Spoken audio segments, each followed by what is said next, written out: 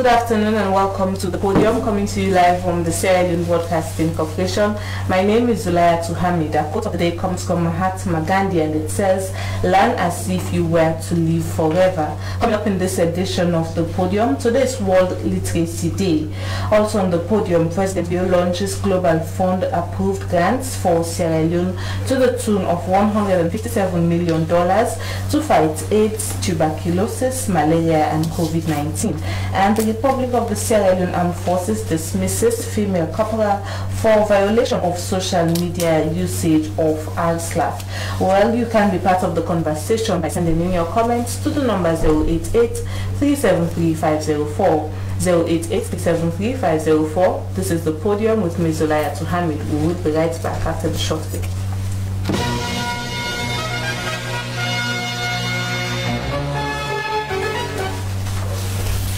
Welcome back here watching the podium coming to you live from the Sierra Leone Broadcasting Corporation with me Zulaya Hamid.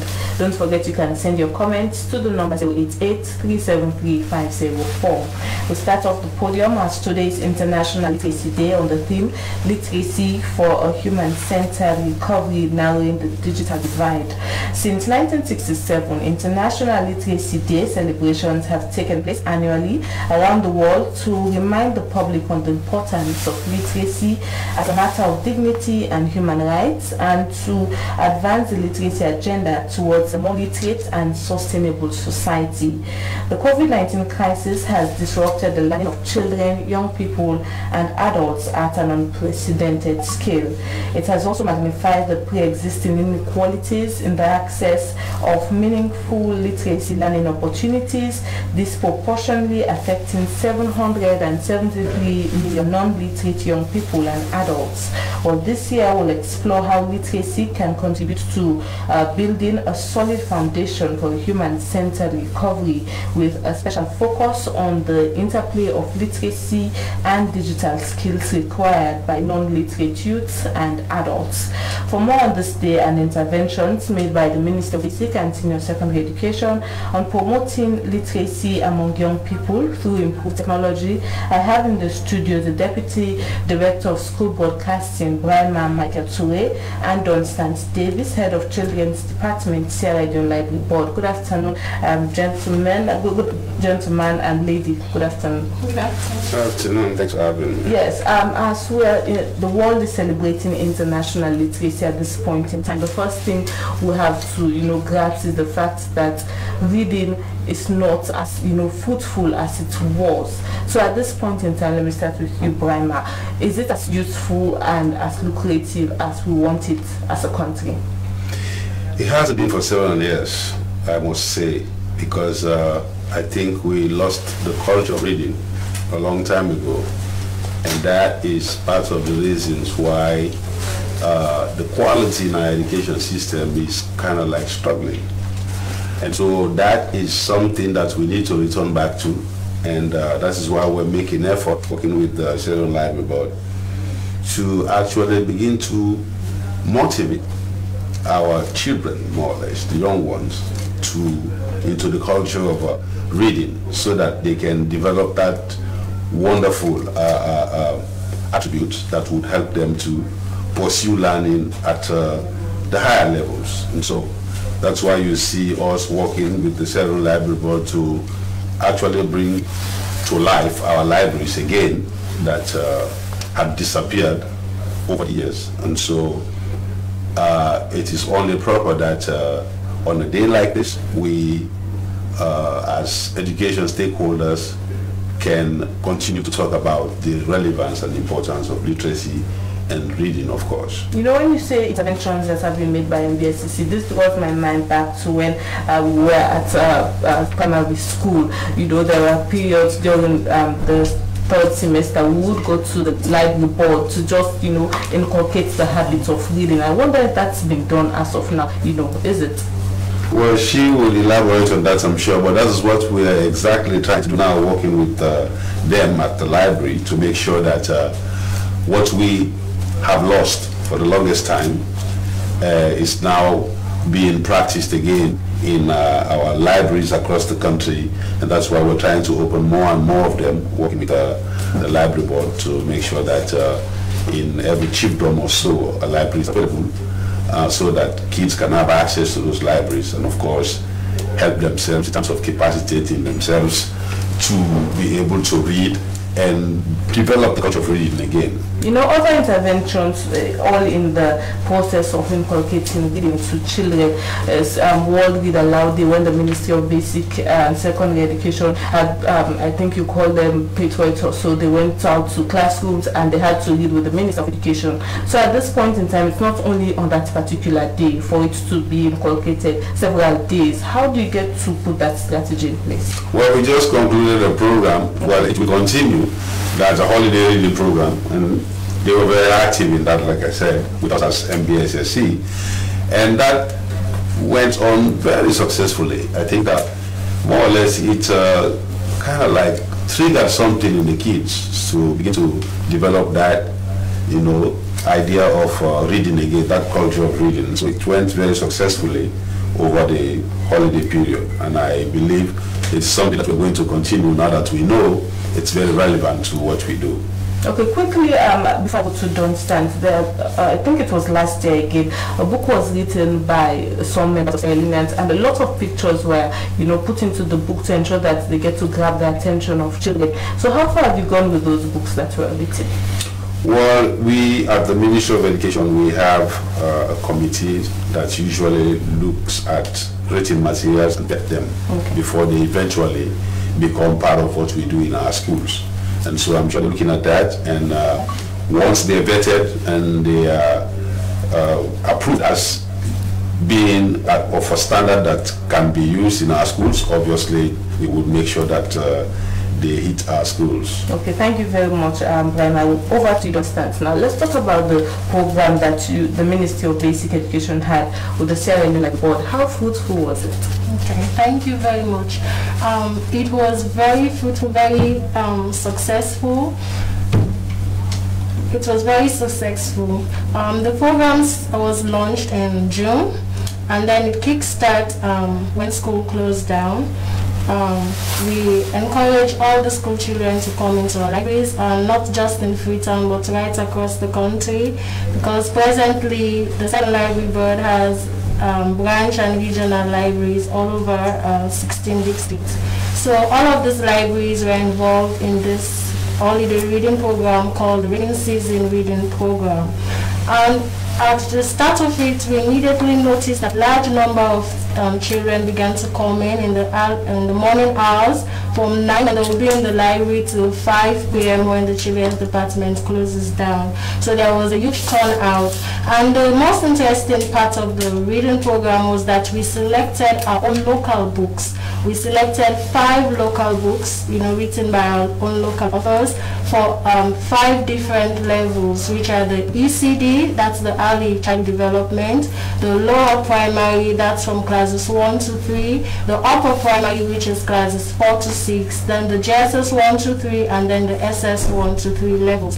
So all of these books were grouped into these different levels so the children could read them by levels. And then during the reading program, we not just only read the books to them, we encourage the children to also read these books for themselves because um, they have to learn how to pronounce the words, they have to develop their vocabulary. And then we also went on further to conduct tests on the books. So two um, tests were conducted from the start to the end of the reading program, wherein we are able to select um, best readers at the end of the day. So I should say that the program was a very successful one. Okay, so on a normal day, how full is the library, just to know? Okay, uh, well, on a normal day, we do have children coming in in the morning hours, but basically those are children who have not started school yet, so there are few. But then in the afternoon hours when school closes down, we have more numbers coming in um, after school to spend time reading until they're parents pick them up in the evening hours. Okay, let's go to another area. The issue of cognitive learning is, is very, uh, you know, peculiar in arts classrooms.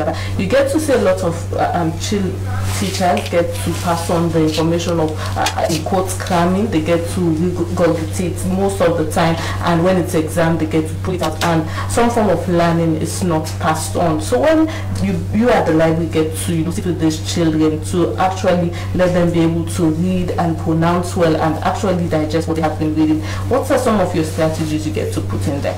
Okay, um, we have different strategies including, um, first of all, we allow them to to um, express themselves. We allow them to explain to us what they've understood from the readings they do. So we normally set up um, simple competitions, you know, for them to tell to retell the stories to us because that's one way we can be able to tell that you really understood what we just read to you or what you just read yourself. So we encourage them to retell the story. We encourage them to also act out these stories in dramatized forms.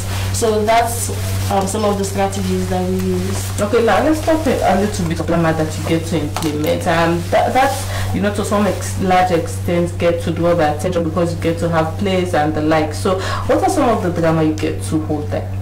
Okay. Interestingly, today as we are celebrating the um, International Literacy Day, one of the activities performed by the kids themselves was a short drama on a book titled A Typical Day of Baby Aggie. This is one of the books um, during the rainy season reading program. So what we encouraged them to do was to have um, a child reading out the words and then we have those who are acting out what the child is reading. So this is just one form of dramatization where um, a child is reading out the story and then we have the silent actors just doing the actions. Yeah, that's just one. Okay, let me take you to something very interesting. As of now, do you get to, you know, allow children to live out um, to leave the like with the books because that's also another issue. Many a time they get back with the books and they're turned out and the likes. Yeah, we do because definitely um, we can't do much in the library. A lot also has to go on in the home. So that is why we have strategies in place to ensure that the kids take the books home. So as a library, we have a system wherein we give out um, up to four books for two weeks, for a two-week period.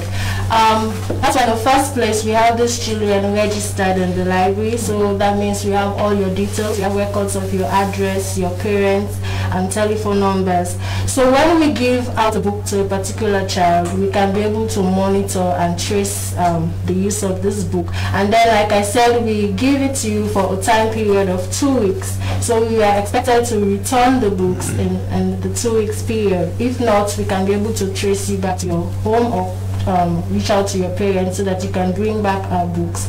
And also, case you, we um, at the start of it, during registration, we orientate them you know, to teach them how to handle the books, handle them with care. We tell them that books have lives, they can breathe, you know, so you have to take good care of them.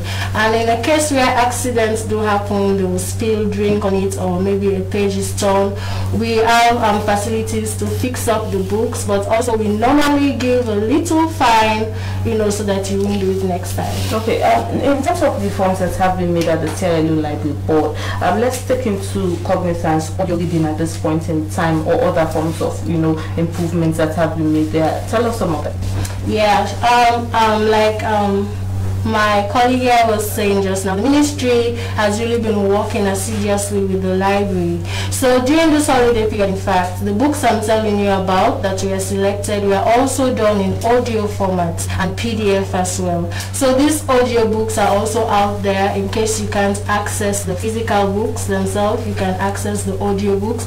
It's on the ministry's um, website and we also shared it, we spread it out to different forums on social media. So parents have access to these audiobooks now that you can actually listen to.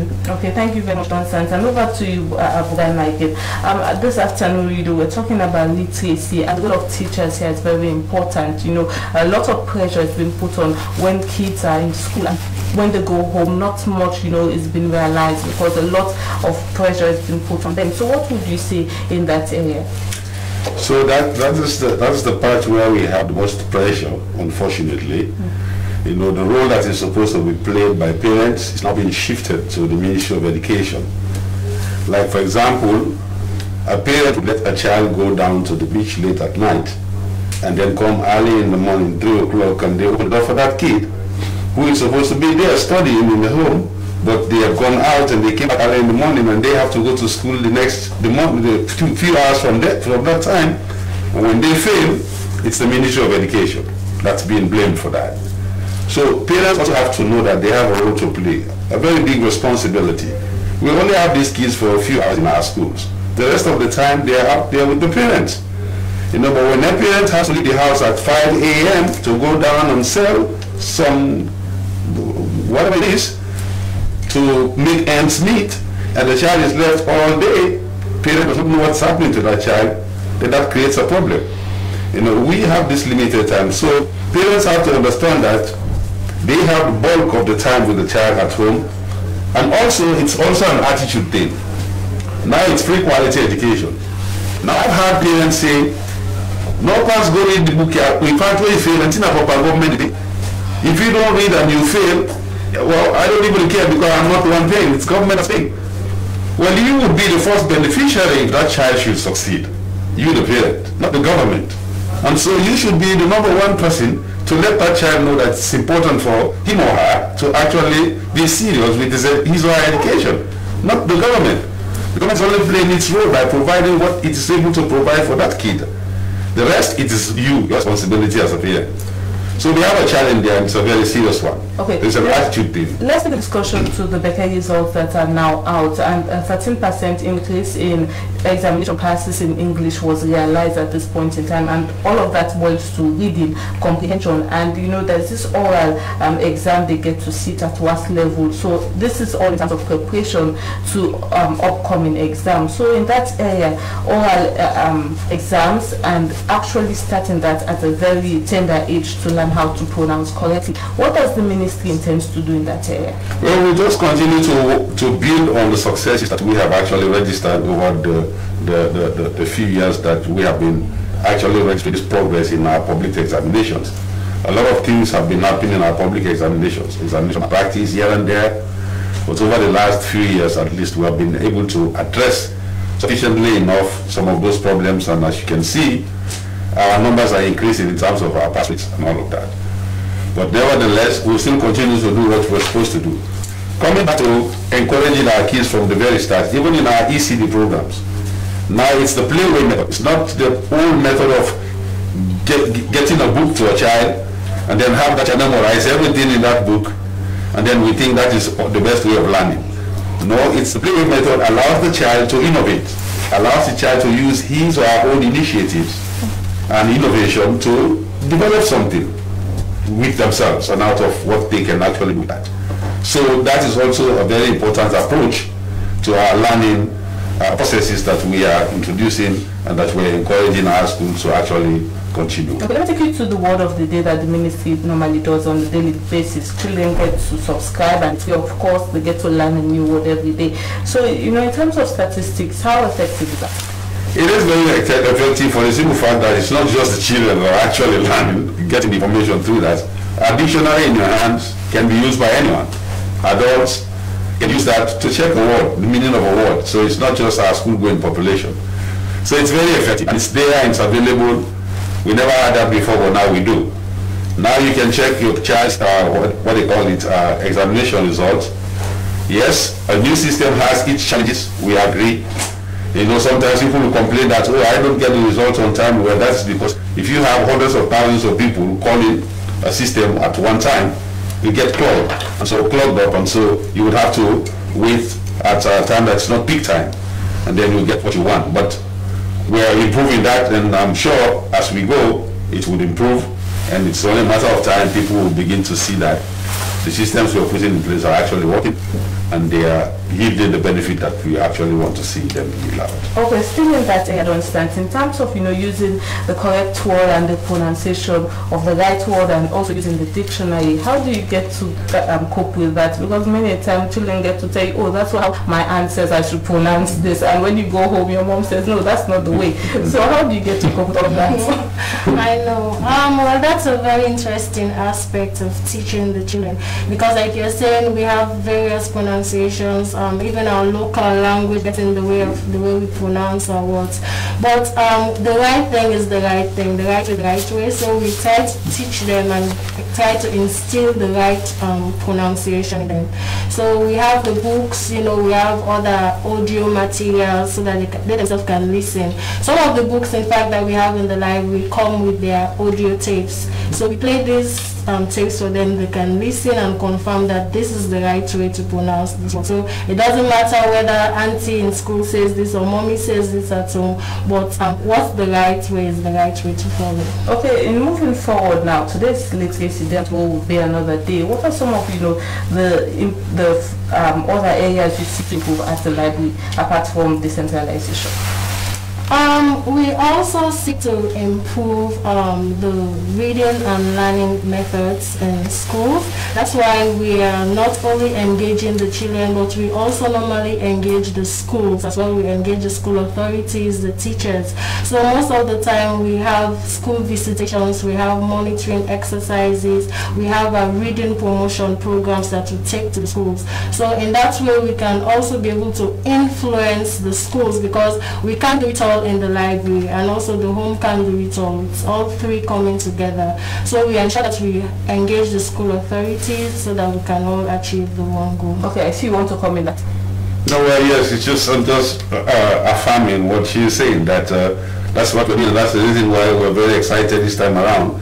That for the first time in a long time, we're capacitating them and we're working with them, you know, collaboratively to promote all of the things that uh, we want to see happen for our kids in this country. And so they've been doing a phenomenal job in terms of maintaining our libraries across the country. And we can only say thank you for that very wonderful partnership with them. Okay, thank you very much for taking your time to talk to us this afternoon. Um, he's Michael Tsue, um, the Deputy Director of School Broadcasting, and uh, Don Davis, Head of Children's Department, Sierra Leone Library Board. Be reminded that you can send your comments to number 088-373-504, 088-373-504. Continue with the podium live on the Sierra Leone Broadcasting Corporation.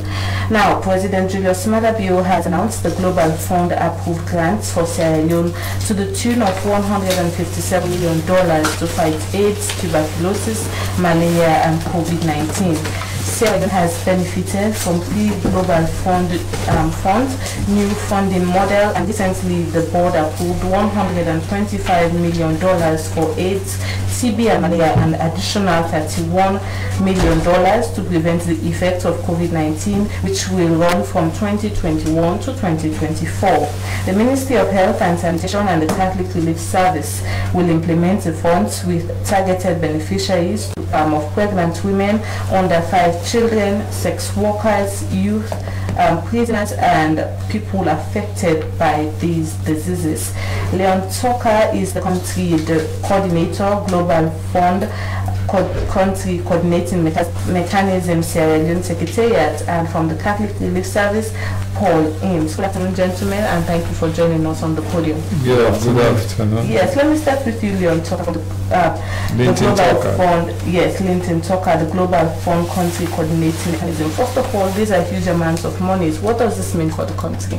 Uh, it means a lot. It's a big money for Sierra Leone and uh, we came up with that amount based on inclusive uh, proposal development process, including all the key stakeholders. So we didn't just come up with that figure, we came up with that figure based on what we are supposed to implement. And in these areas, what would be it? And for, you know, for instance, the, the awareness being raised about AIDS, not you know, is still at the peak, but, uh, you know, the people actually coming forward to say that they actually have it's also another area. So how are you going to put in strategies to ensure that, yes, these, uh, um, you know, factors such as stigmatization is addressed? Yeah, um, uh, actually, um, we have two principal recipients. Okay. That is Ministry of Health and Sanitation and Catholic Relief Services. Catholic Relief Services will be engaged purely in behavioral change communication to communicate with all the people of this country on the fight against uh, malaria and TB. Our Ministry of Health should handle the fight against HIV/AIDS, TB, and malaria. So it's more on sensitization. We have to intensify that one and make sure we include all the key stakeholders including community people also, the chiefs, the youths, everybody, even the, the people living affected by the disease should be part of this campaign. And you'll be taking this to even the prisoners. uh, I'm a little bit... Yeah, even the prisoner, yeah, the, pri- the prisoner, the prisoner, you know, um, these are closed settings, and we have organization who will be working with them to make sure that they get what is meant for them to fight the disease, you know. So don't leave them out, we still care for them. They are part of the beneficiaries of this grant. Okay, thank you very much. Let You're welcome. Yes, let me go over to Paul. At this point in time, uh, the Catholic Relief Service will be part of the implementing partners, yes. And you have been working on health-related issues. And let's start with AIDS. You know, what are some of the, the, the strategies, again, you're going to put in place to, to facilitate this? The, um, the HIV AIDS component is mostly going to be managed by the Ministry of Health. Um, CRS will be focusing mostly on malaria, tuberculosis and the fight against COVID. Um, but with regard to AIDS, we will be working closely with the Ministry of Health and the non-governmental organisations that will be implementing HIV programs. And we'll be looking mostly at capacity building and health system strengthening. Okay, you know, for the provinces, malaria is uh, kills a lot in those Yeah. areas, and you know there are times the government get, the government gets to put in all of these measures, such as um, um, net tents to ensure Yeah. that they get to use it. But sadly, that's not always the case. So, how are you going to use these funds to ensure some of those projects? I mean, for us, these, this funding is an enormously exciting opportunity. Malaria is devastating for Sierra Leone. We have one of the highest burdens of malaria in the world in this country. Um, it's one of it's the highest cause of death for children, and the in some parts of the country, 40% of the population test m- for positive for malaria on any given day. Um, it has economic and a health effect which is terrible. We see this grant, this award from the Global Fund as an opportunity to step up the fight against malaria, to work with our partners and specifically to work with the ministry and with the communities, to encourage them to sleep inside uh, an impregnated bed net, to recognise what malaria is and how to avoid it, what are the symptoms and what to do if you are uh, if you think you have malaria. Go to a clinic, get tested, get treated. The the messages are relatively simple and straightforward, but actually getting people to sleep inside a bed net when they're given one is a challenge you know, people say, ah, it's hot, we don't like, you know, we want to use the net for something else. So it's, it's all for us, it's all about behaviour change communication. We're out there, we're working with partners, with school health clubs, with community health clubs, with the primary health system, and, and we're working on the behaviours which prevent people from protecting themselves in order to change their behaviour and improve their health status. Okay, the school health clubs you get to work with, um, what have you been doing so far with them? Because I can recall a few years back when I was in school as well, you know, they went there, they had to give us some of these tablets, and the first Yeah. thing I did, I had to call my mom, should I take it? That was the first thing. Yes, so how are you going to ensure that, yes, you get to speak with principals, make the children feel Yeah. safe to actually take them? It's it's very interesting point because behaviour change it's it's all about acceptance and understanding. It's the same with the COVID vaccination. You know, people hear all kinds of nonsense on social media, and unfortunately they believe it. In, uh, you know, in many many cases, and the same goes for malaria. You know, you're a child. Somebody gives you a tablet or tells you you should go and seek treatment in the clinic, and who do you trust? It could be anything.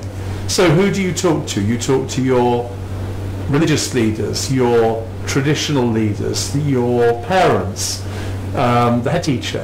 And, and that's why we focus so closely on community outreach and on the health clinics and on the schools and on the faith leaders and traditional leaders because those are the people that, that are asked, you know, is this safe? Can I do this? And, and if, if we can if we can make that breakthrough where where people who are trusted in the community will say to the children and the mothers and the fathers and the brothers and the sisters, yes, it's safe, this could save your life. Then you make the breakthrough. And now you're targeting faith and religious leaders and you know this brings to back memories as well. These are very important people, especially the religious leaders. You get to speak to them and you know they get to pass on the message. Yes. So how would you do that in terms of, you know, negotiations and meeting with them? So, I mean, through a variety of methods. I mean, we, we have a, a network of, um, of school clubs. Uh, we have um, a, a, a network across the entire nation um, through the primary health system. Through the um, through a partner called Focus 1000, they, they have a network called the Combra Network, which has a nationwide um, reach to religious and traditional leaders. And through that network, we're able to pass those messages through the churches, through the mosques, through the village community meetings, um, to explain to people the very simple messages about how to avoid these diseases, what to do if, if they get them, and how to make themselves safe. You know, um, NACOVAC, I'm sure you're aware Yes, of yes, NACOVAC, yes, has been working tremendously to ensure that people get vaccinated at this point in time. But actually, the number of people since going there is actually slow. so, would you have in, do you have intentions to collaborate with NACOVAC to Yeah. ensure that you know people actually come on board? So I met with the director of NACOVAC only last week and we had an extremely useful conversation. Um, the percentage of vaccinated people in this country um, is around 2%. Um, and there are basically two reasons for that. One is a lack of vaccines and the other one is a lack of acceptance by the community. Now, what we will be doing with um, regard to the lack of vaccines is we will be talking, you know, with the Ministry of Health, but particularly with the donors, to encourage them to make donations of vaccines to um, to, to Sierra Leone. And I, I was very interested in speaking with um, a colleague from the United States Embassy this morning who said that another consignment of vaccines is coming in from the US, which is extremely welcome. But the, the even if the vaccines were all available, relatively few people are willing to go and get vaccinated. I'll say publicly, I've been vaccinated, I'm still here. It, it is safe. To the people of Sierra Leone, I would say, please get vaccinated. This could save your life and save the lives of, those that you love. Okay, um, in the area of the additional $31 million to prevent the effect of COVID-19, which will run from 2021 to 2024, I'm sure you'll be part of that as well. Absolutely. Yeah, so this, you know, it has been stated that COVID will have to will have to live with COVID-19. So, you know, in terms of working till 2024, Yeah. long-term plans to ensure that yes, you get to, you know, actually see all of these implementations Mm-hmm. fruitful. Yeah. I mean, uh, sadly, it looks as if we're going to have to live with and manage COVID. I mean, I, I think in the early days, there was a hope that we could just defeat it. Now it seems that we will have to manage it. But we do, uh, we do follow the science and we do believe that uh, with a combination of vaccination and safe practices and, and the slow build-up of natural immunity, we will be able to manage this very, very damaging disease. So far, thank goodness, Sierra Leone has been relatively spared from the worst ravages of COVID-19. We want to keep it that way. Okay, thank you very much for taking your time to talk to us. And uh, Mr. Tucker, now you're here this afternoon, and on the area of the $31 million to prevent the effect for, of COVID-19, which will run from 2021 to 2024, and CRS in implementing partners. Tell us about, you know, that um, decision, about the the decision to work with them. Yes, um, um, usually, you know, we, the CCM, the country coordinating mechanism, is responsible for nominating the principal recipients of those grants. So Ministry of Health and uh, CRS, we are nominated and endorsed by the Global Fund. Now we expect them now to work with the current SRs, we mean sub-recipients, to make sure they, they, they, they implement this program using that money, that $31 million. CRS will be having um, about $6 million whereas uh, the Ministry of Health, we have about $15 million. Okay, and the area of the sub-recipients, uh, what do they actually mean there apart from CRS? Are there other recipients apart from them? Yeah, when we have uh, the principal recipient, the principal recipients receive the fund. Okay. And they have to disburse to the sub-recipient, I mean NGOs, organizations, people living and affected by the disease, organizations, you know. They send this money to them for them to implement based on the proposal we developed. And as as we go around to monitor, CCM will provide oversight to make sure that these things are happening. We meet the targets. In terms of the NGOs that would serve as uh, sub-recipients, as you call them, um, are we able to ensure that um, repetition of the same activities is not actually done? Yeah, that is the work of the PR, principal recipient. Okay. So in the first place, before even giving them the money, they need to have a workshop, build their capacity, sensitize them on their, on their activities, the proposals, what they are supposed to do. And we make sure we don't have duplication because we have, we look at the geographic contiguity wherein this SR should be in the north, this should be in the south, you know. Okay, thank you very much, gentlemen. You are heartily welcome. Yes, thank you so much for taking your time to talk to us. You are watching the podium live on the Sierra Broadcasting Corporation with me, Zulaya Suhami. Don't forget you can send your comments to the number 088 373 We're going for a short break. We'll be right back.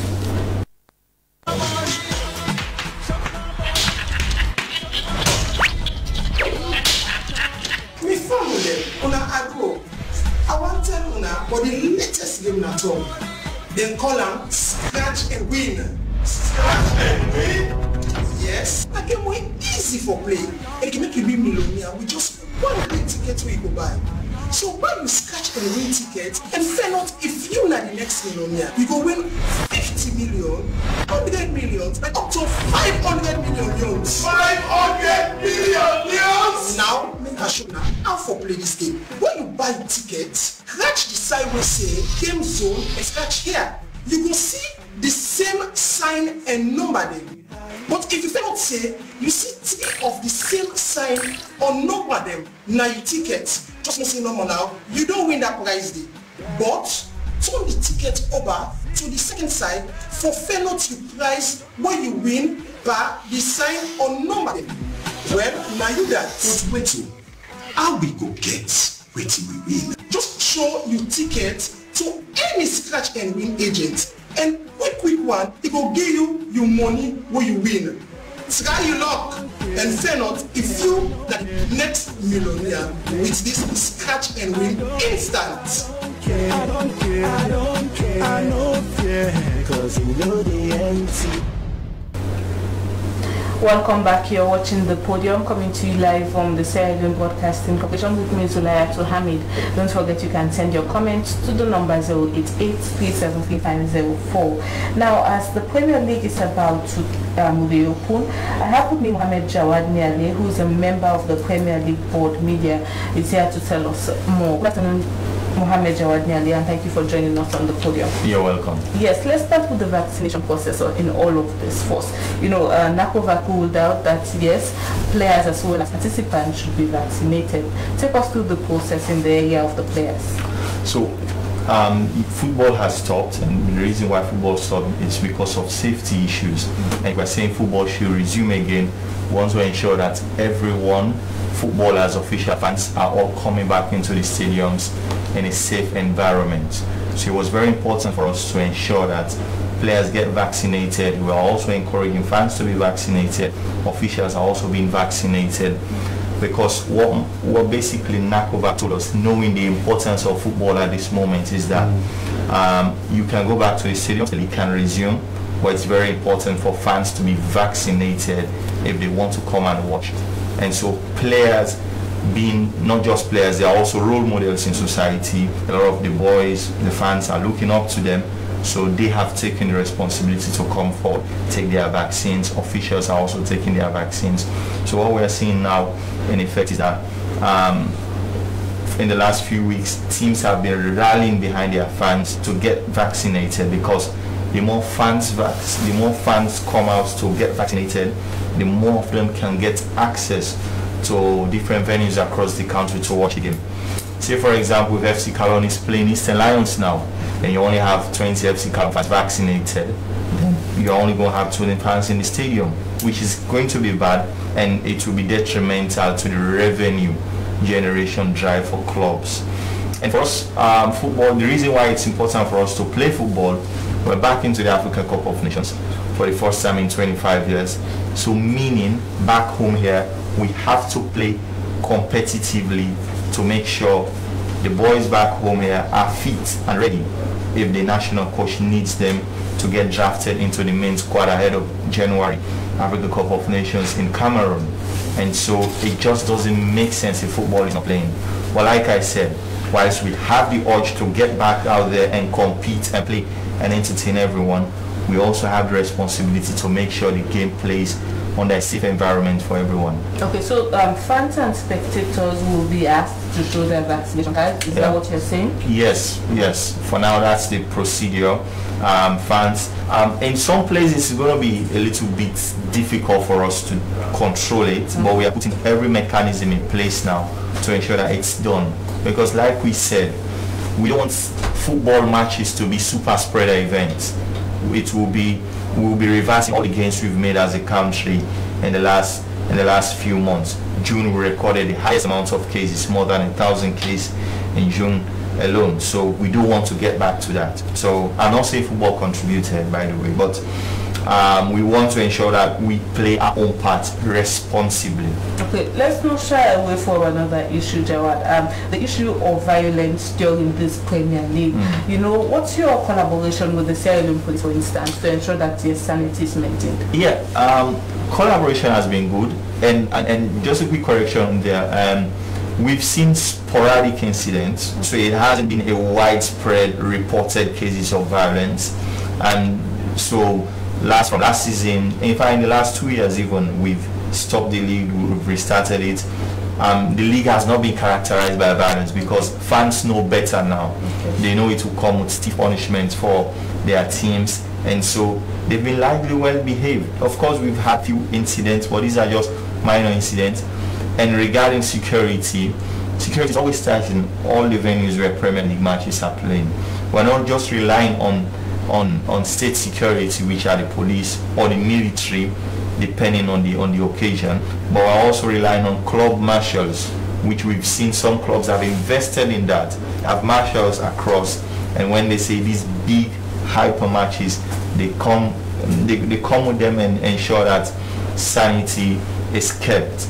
And that has largely been so the league has largely been very very peaceful. Okay, games have not been played for a while now, so let's talk about the creation of this Premier League board. How prepared can you say they are? Well, we are very, very prepared. We are as prepared as we can be.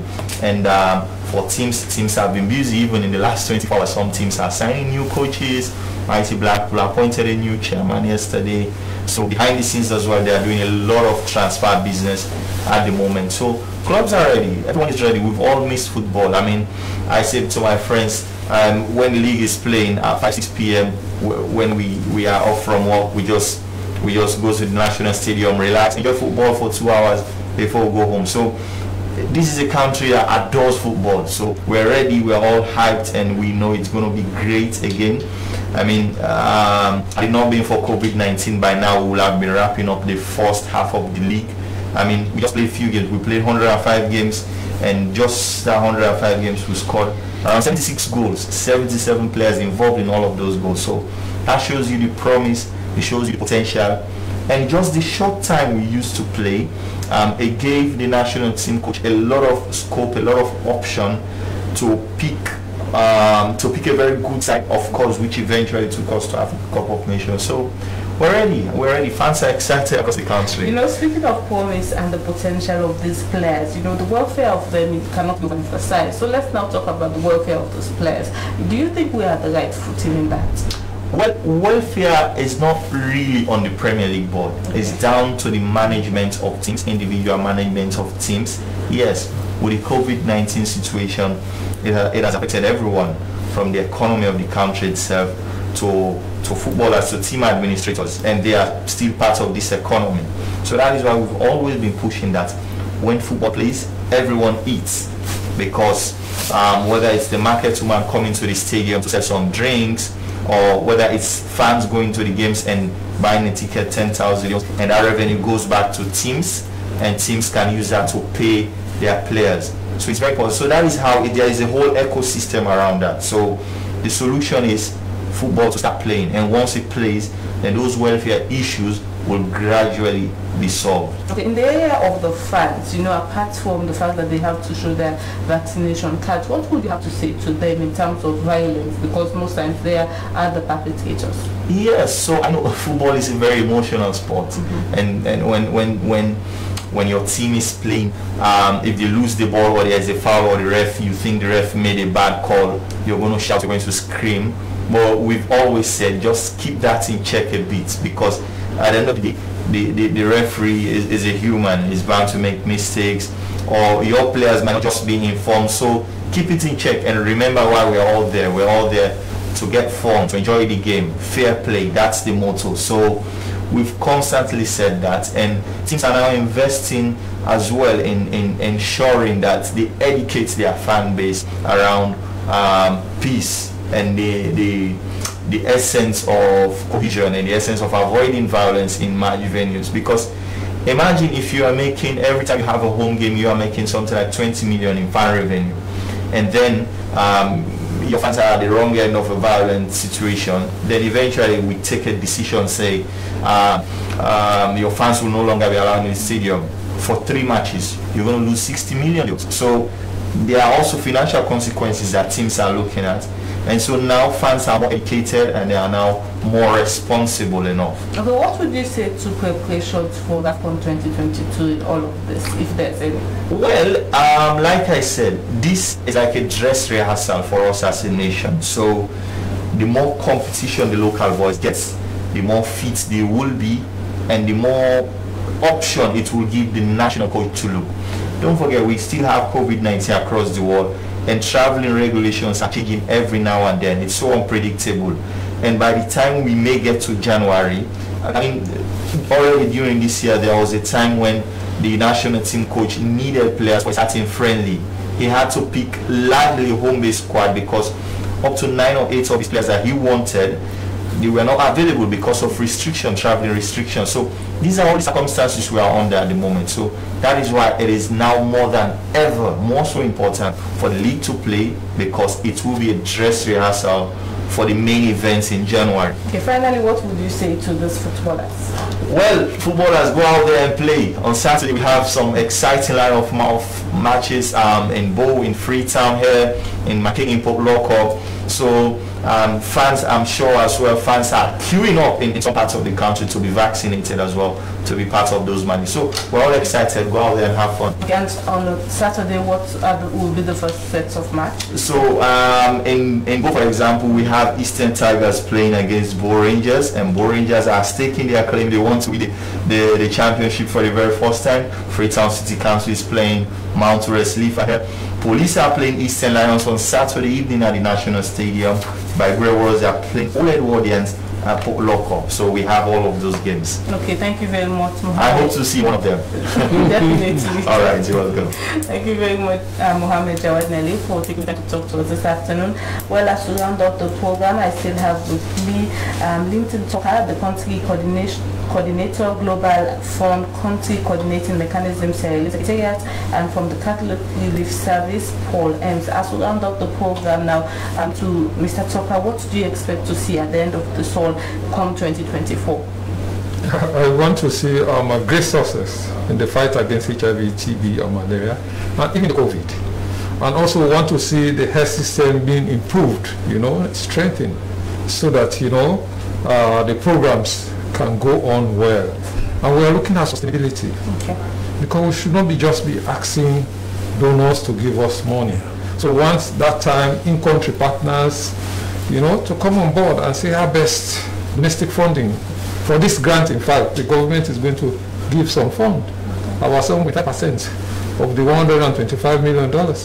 So you see, so I have to give, say thank you to the government of Sierra Leone for really coming on board to see that the people of Sierra Leone are more safe in the fight against HIV, TB, and malaria, and even COVID-19, which has serious effect on the gains we've made so far. Okay, thank you very much. And over to you, Paul, as an implementing partner. Mm. What do you hope to do, you know, by the end of 2024? I would like to see by the end of 2024 a strong Ministry of Health, a s- an even stronger Ministry of Health. Uh, we're aiming to uh, work with them on um, a capacity building um, mechanism process whereby the ministry identifies areas where they meet, may need technical support. We will be handing over um, a, a lot of our work over those three years. Um, we'll be working with our civil society partners and our NGO partners and with the communities. And I would like to see by 2024 stronger communities and stronger civil society fighting against these diseases. Okay, thank you very much, gentlemen, and that's how we bring an end to this edition of the podium. Remind you, a quote of the day comes from Mahatma Gandhi, and it says, "Learn as if you were to live forever." Many thanks to my producer Sam Mataba. My name is Zulaya Tuhamid. Continue to watch the SLBC, and have a good afternoon. Bye bye.